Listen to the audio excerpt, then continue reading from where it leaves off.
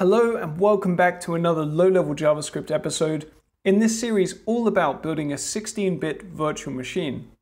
In this episode, I want to focus on adding a lot of new functionality and instructions. The instructions we add today are going to fall into four main categories. More moving instructions, more arithmetic capabilities for doing math, binary logic instructions, and branches. Let's start out with the move instructions.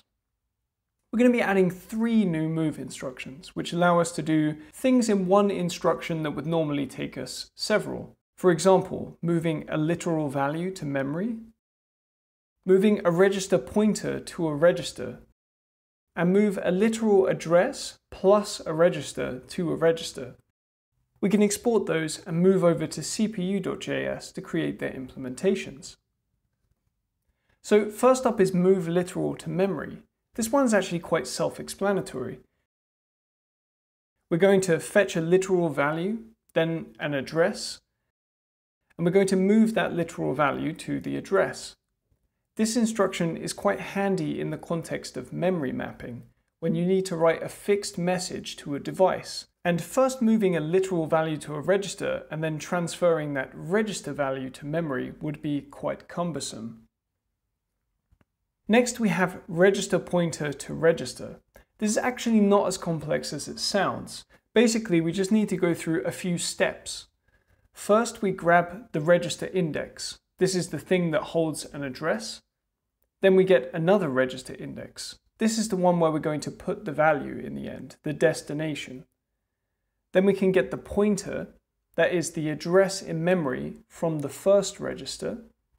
And once we have the address, we can fetch the value from memory and finally move that value into our destination register. And for the last move instruction, we have move a literal address plus a register value to a register. So first we get the base address, then we get the register index that holds the offset. Then a second register index, this one will be the destination, we get the offset from the first register, and then the value comes from fetching the memory with the base address plus the offset. This instruction is very useful when you have larger data structures. If you know where a data structure starts, and the elements within the structure are always in the same place relative to the start, that means you can easily pull individual parts out and manipulate them. So with the moves out of the way, we can move on to the arithmetic instructions. These are all pretty understandable from their names, but there is going to be some little details we need to keep our eye on. So as you can see, there are going to be instructions for adding, subtracting, multiplying, increment, and decrement. Add literal to register is just the literal version of the add register to register. By the way, what I'm calling a literal value here is actually often called an immediate value. I guess that's because it's immediately available. It's good to be aware of when different words sometimes just mean the same thing. So this one's pretty straightforward. We get the literal value, then the register index, get its value, then set the accumulator to the result of the addition. Then we have subtraction. Subtract literal value from register will be very similar to the add. First we grab the literal value, then the register and its value, and the result is the register value minus the literal, and all of that goes back into the accumulator. This is a side note for now, but it's good to keep in mind here that all of the arithmetic is currently taking place using unsigned numbers. If we treat the 16 bits of a number as unsigned, we're basically saying that all of the bits represent counting from 0 up until 65,535. If we treat those same 16 bits as signed, then they actually represent numbers that go from minus 32,768 up until 32,767. Luckily, addition and subtraction continue to work as normal even when treating them as unsigned. This means we won't need different instructions to add or subtract numbers, even when we're thinking of them as signed. Okay, so next we have subtract a register from a literal, which is just everything we did before, but in reverse. First we get the literal, then the register, then the final result is the literal minus the register. The final subtraction instruction is subtract register from register, which should at this point be quite self-explanatory.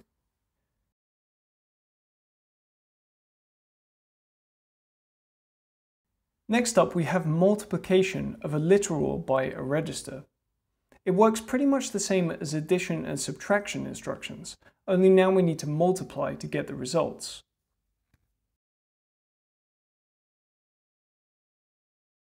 Of course, very similarly is multiplication for two registers. However, there is something important to note here. Unlike addition and subtraction, which work the same for both signed and unsigned numbers, multiplication is a little bit more complicated and it has edge cases. And for this reason, to keep things simple, we will eventually have two more separate instructions for signed multiplication. Finally, we have the increment and decrement instructions. Starting with increment, we'll get a register and its current value, and the new value will be that plus 1. But there's going to be a small difference with how we store the result. It's going to go directly into the same register that we got the value from in the first place, instead of into the accumulator. Many of the classic architectures that have an accumulator register for complex operations also allow for incrementing and decrementing registers in place, because it's a common enough operation that somewhere inside the circuitry there is specific logic for this. Decrement will be pretty much the same as increment, so I'll just copy paste the code here and make the couple of changes needed. That brings us to the logical instructions. These allow us to perform binary operations on all of the 16 bits at once, and they're extremely useful for a variety of reasons.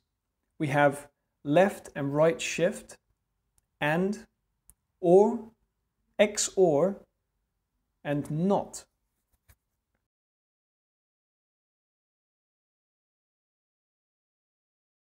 Left shift a register by a literal value is going to be a lot like increment and decrement in that the shifts will be performed in place, applied directly to the register without going via the accumulator. When we perform a shift operation, we take all the binary bits and we move them to the left or the right by a certain amount. Any numbers that are outside the 16-bit boundary are essentially lost. And what's really happening here when we perform this kind of shift is a sort of multiplication by a power of 2. For example, 9 left shifted by 2 is actually the same thing as 9 multiplied by 2 to the power of 2. The actual implementation is fairly simple and quite similar to what we've already done with the arithmetic instructions. We get a register, a literal, and then the result is calculated by just using the left shift operator in JavaScript and we can just assign the result and return.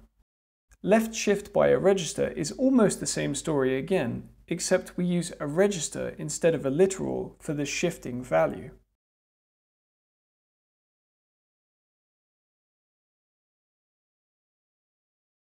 So conceptually left shift is a multiplication by a power of 2, but right shifting is like a division by a power of 2. But it's a very lossy division because of course we're dealing with integers instead of floating point numbers. Code-wise, this is similar enough to left shift that we can just copy paste and apply the couple of changes. Next we have the AND operation. AND takes two binary numbers and produces a new binary number where each place is 1 if both of the numbers have a 1 in that same place. Otherwise, it's a zero. And is useful for isolating a particular part of a number, like the bottom or the top byte, because we can purposefully put zeros in the places we want to ignore. To get the operands, we do all the same things we did before, and we use a single ampersand, which is binary AND. Finally, that result is stored in the accumulator. And of course, that's the same thing for the register-register variation.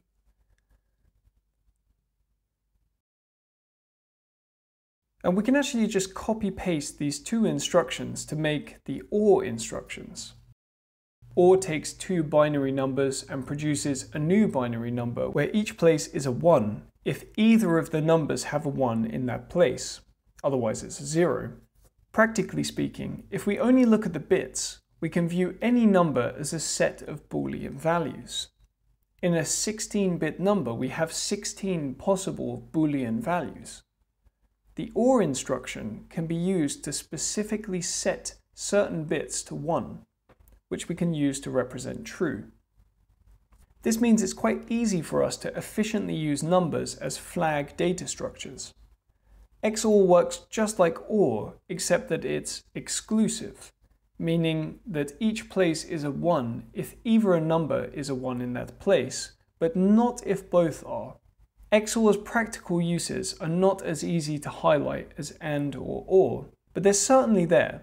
When you XOR two numbers A and B together, you get a new number C. If you XOR A with C, you get B again. If you XOR B and C, you get back A.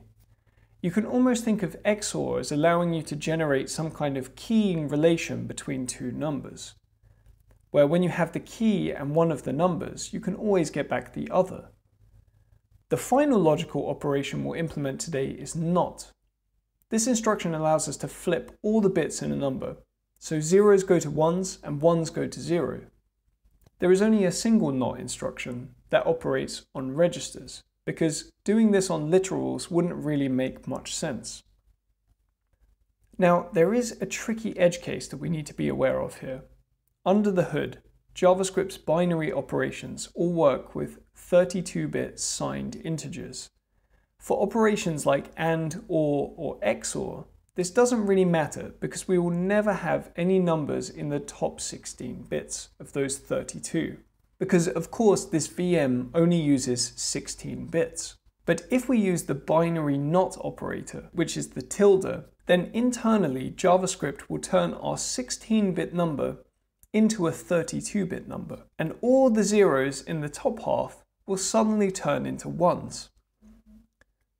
For this reason, after we do the NOT operation, we perform a binary AND with OXFFFF, which lets us select just the bottom 16 bits and ignore whatever was on the top part.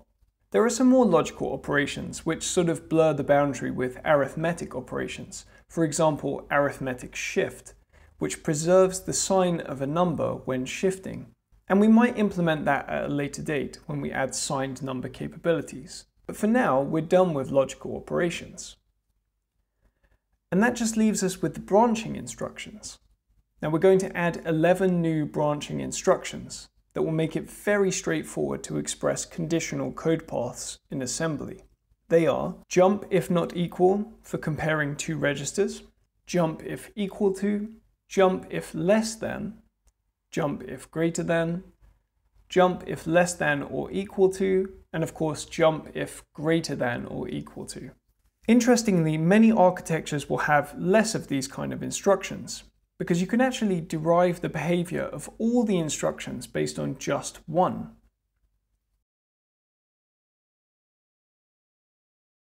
We can write the jump if register not equal as getting first a register and its value, then the address that we should jump to, and comparing the register's value with the accumulator.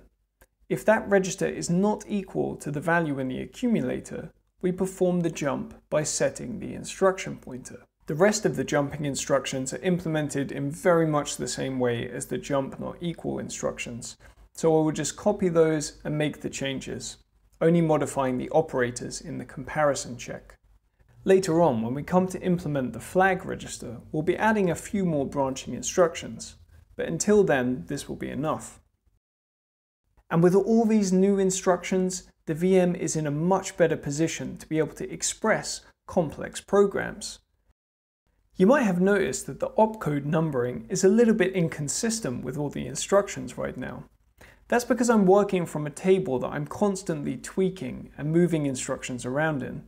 When a fuller instruction set is finally decided upon, I'll reorganize the instructions in a more logical way that might even allow for faster processing in the VM. I'll make sure to share that in the repository. As always, related links can be found in the description. Thank you so much to all the patrons of Low Level JavaScript. If you want to support this channel too, you can do that by going to patreon.com forward slash low level JavaScript for as little as $1 per episode. Thanks for watching, and I will see you next time.